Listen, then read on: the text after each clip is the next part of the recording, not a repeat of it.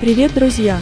Жена Сэма Хунга Джойс Минагадензи родилась 28 мая 1965 года в Гонконге. С самого детства она занималась боевыми искусствами, в том числе охотно посещала школу кунг-фу. Необычную для жительницы Востока внешность Джойс получила от отца австралийца и матери китаянки. Как и многие актрисы своего поколения, до того, как стать актрисой, Джойс работала в модельном бизнесе.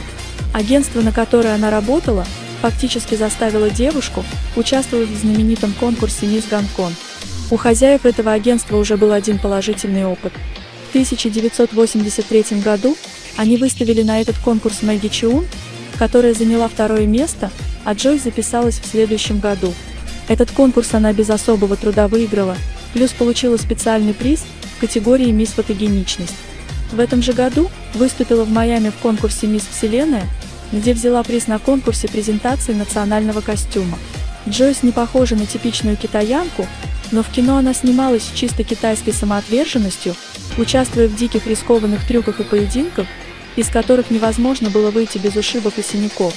Впрочем, нельзя сказать, что Джойс незамедлительно после ее триумфа на конкурсах красоты буквально завалили предложениями сняться в кино. Говорят, что здесь большое значение сыграло ее происхождение и не совсем китайская внешность, из-за которой ей неохотно доверяли значительные роли. В детстве будущая актриса не раз сталкивалась с притеснениями по национальному признаку, особенно когда занималась в школе кунг-фу, в которой ровесники сначала неохотно тренировались с ней. Однако спустя годы Джойс завоевала у них уважение, проявляя самоотверженность и упорство на занятиях и не пропуская ни одной тренировки. В будущем боевые навыки пригодились девушке для съемков в китайских боевиках и самостоятельном выполнении трюков в них. Ее первое появление на экране датируется 1986 годом. У Джойс была малюсенькая роль в мистическом экшене «Седьмое проклятие».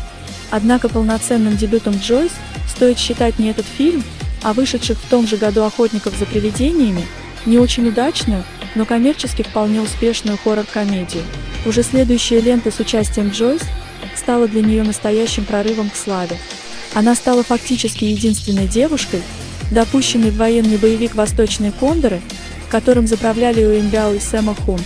Роль крутой партизанки, помогающей главным героям в их миссии, стала определяющей для Джойс, и за нее она получила номинацию как лучшая актриса второго плана. Однако эта роль потребовала от нее огромных моральных и физических сил, ведь в этом фильме она самостоятельно выполняла все свои трюки, превозмогая усталость и боль от пропущенных ударов на съемках фильма. Видимо, поэтому в последующие несколько лет Джойс снималась почти исключительно в комедиях и мелодрамах. Роли в этих картинах давались Джойс легко, потому что не требовали ничего, кроме как выглядеть красиво. Однако два последних года своей кинокарьеры Джойс возвращается в привычный жанр кунг-фу боевиков. Последний раз актриса снялась в Рейде. Несмотря на массу звезд в главных ролях, этот фильм провалился в прокате, но впервые представил актрису в отрицательной роли смертоносной приспешницы главного злодея. Однако эта роль стала ее последним появлением на большом экране. В 1991 году Джойс ушла из кино и вышла замуж за своего избранника Сэма Хунга, с которым теперь не расстается, поддерживая его во всех начинаниях. Несомненно, Сэма Хунгу повезло с такой талантливой и красивой супругой. Ставим лайк и подписываемся на канал, чтобы не пропустить следующие видео.